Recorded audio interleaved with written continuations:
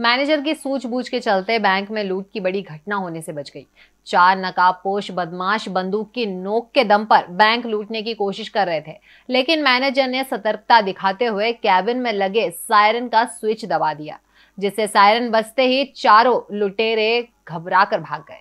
Police इस मामले की सीसीटीवी फुटेज के आधार पर जाँच कर रही है।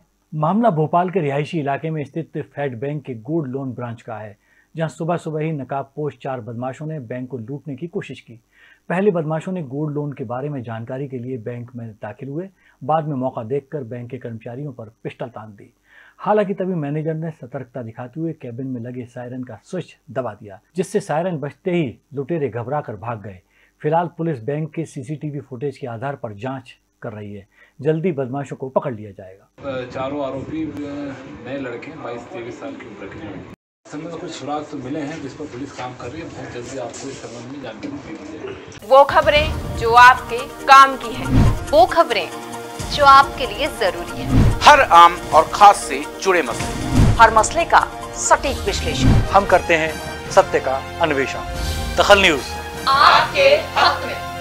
आप देख रहे हैं दखल न्यूज़।